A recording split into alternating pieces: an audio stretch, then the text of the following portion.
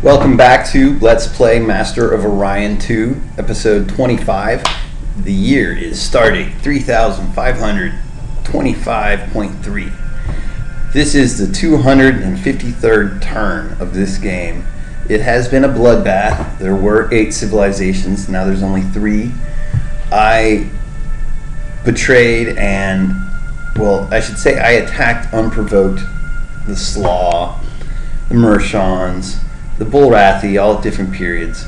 Um, I was just considering how the Bulrathi sent a colony ship to my homeworld of Sol, and I destroyed it, thus starting the long antagonistic relationship I had with the Bulrathis. Uh, we did have peace, and then they attacked me, and then I counter invaded, came to control Ursa. Um, I liberated a planet on Altair, but then gave it away to the Altarians, and now it's just a Mentar planet. Great. Uh, but that allowed me a, a toehold to capture Slaw. Furious. Alright, so the future is clear. It is a Psilon human venture.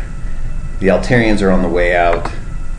How much territory should I grab before they are extinct is the question. Do I attack now?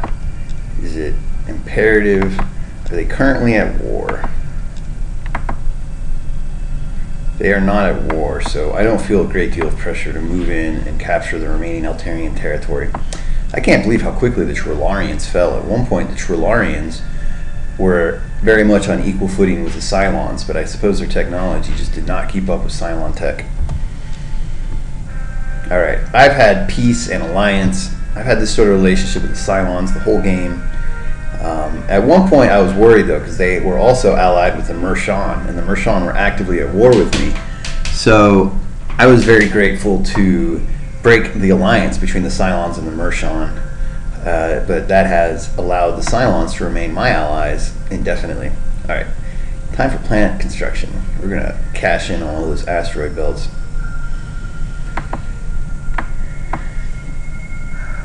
So we've had peace for so long and the personality traits of the Psilons are to be honorable. So I don't expect a sneak attack yet. It seems like a sneak attack is inevitable because one of us must win. Are they going to continue to tarry on indefinitely? As if we weren't playing this game to win it? I doubt that. So I think one day the Psilons are going to attack me. They're probably going to feel like they have a significant strategic advantage when they do so. They might already have a significant strategic advantage considering their technology is pretty superior to mine, I think, in most ways. Um, I've been investing a lot in science, but the Psilons just always have everything. Ooh, one settler arrived at Jabbar Prime.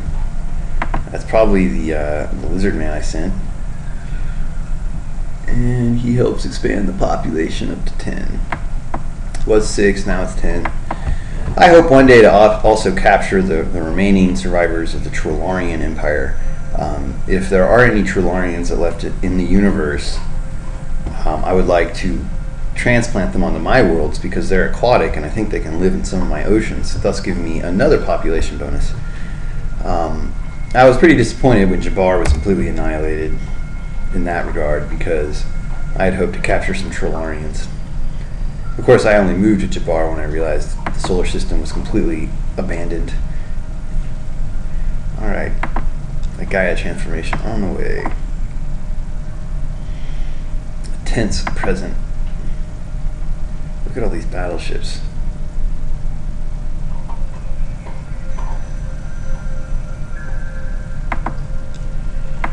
They have 10 battleships.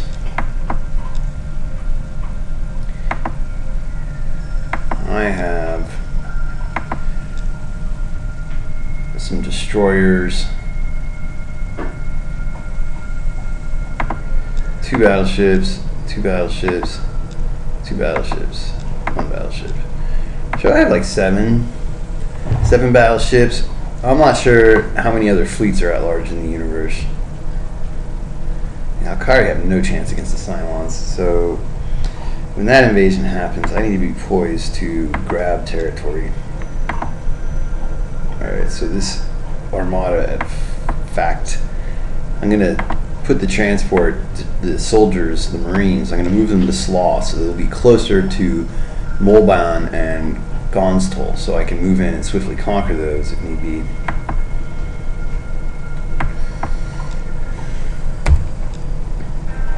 Alright, planet construction. So this will allow me to build even more population producing uh, planets. Alright, we seriously need some shields. This is embarrassing. Um, I think a lightning field is better deterrent to missiles.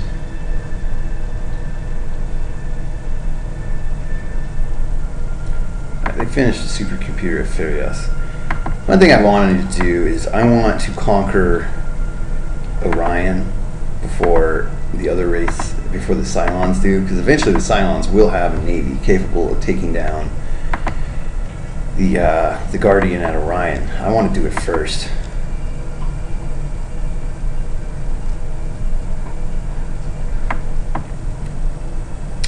So let's consider here. Consider Slaw. Slaw has my most industrious population capable of churning out battleships at a good clip.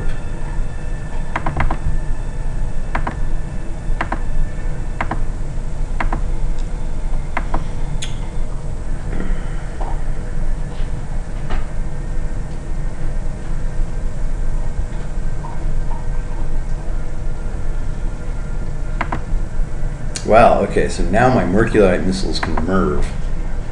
That's a huge landscape changer. I think this enables me to build the very cheap frigate ships that will allow me to launch missiles in a huge abundance. And with said huge missile abundance, I should be able to take down.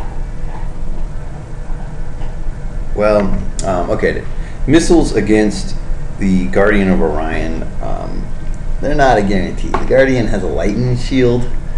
So if I go in there thinking my Merculite missiles are going to take it down, um, I would need like 40 frigates, and I don't think I have a navy capable of supporting 40 frigates. Let me look further into my weapon systems and see what options I might have.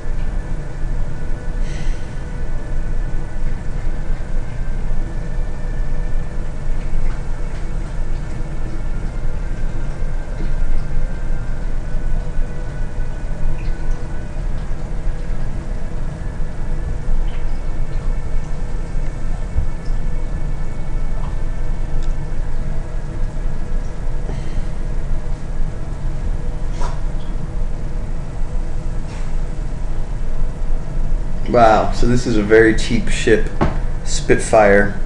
Only carries the Merculite missile, doesn't even have battle pods. Does it even need a computer?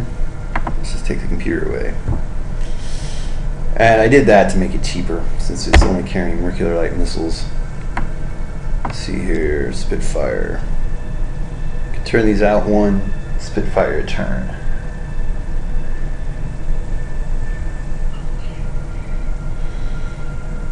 Let's see here. I'm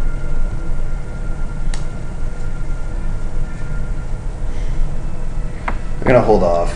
Uh, let me finish my build out. I've been really developing a lot of my planets. Um, maybe it's not yet time to challenge the Guardian and Orion.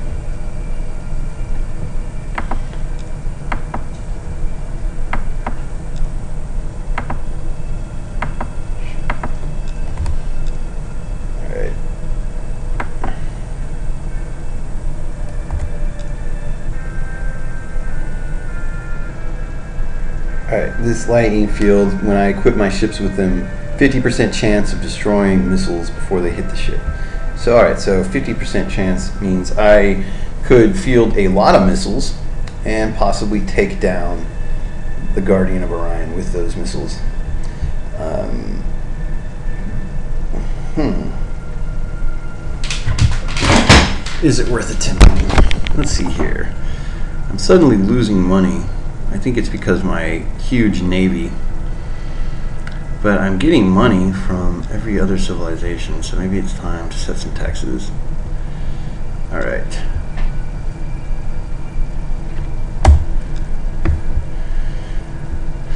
One thing I need to do is build enough star bases and battle stations. I've conquered all these worlds. I've destroyed their star bases. They don't have new star bases to replace them, so they don't generate any command points.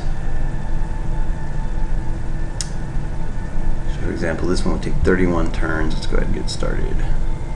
Not a star base.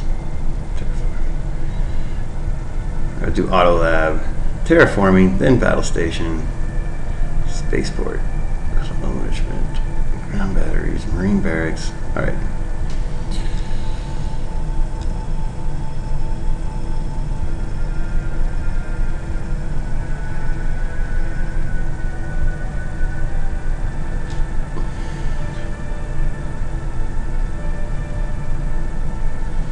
All right, I'm going to send a man of Slaw to Jabbar, to the newly colonized Jabbar. Oops, I should consider. Are there Slaw men on this planet? There are. Good.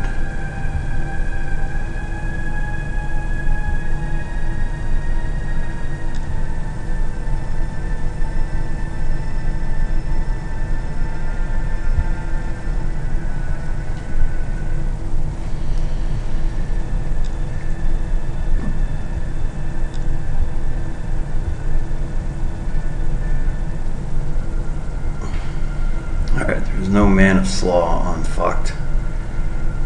Wait, there is here on this planet. Let's transfer him to this world. That shouldn't take any transports. It happens immediately. It's great. Gives us a huge population boost immediately. So this planet can now hold as many as 18. That's a lot. More than 10. Alright, recently conquered Farias. You have no men of slaw on your world.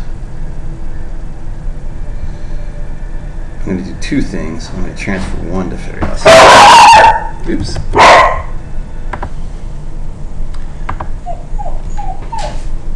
All right. Let's go ahead and buy terraforming.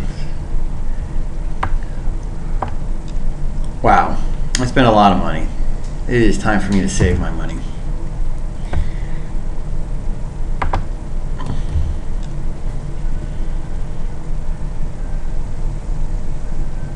All right, it's election time. Let's see where we are. There is only three races left. This all used to be full.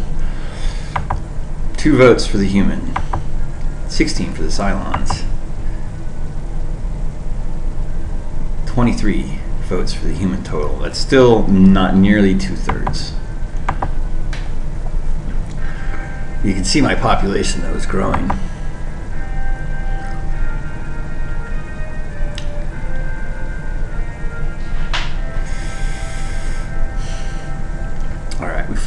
Sociology.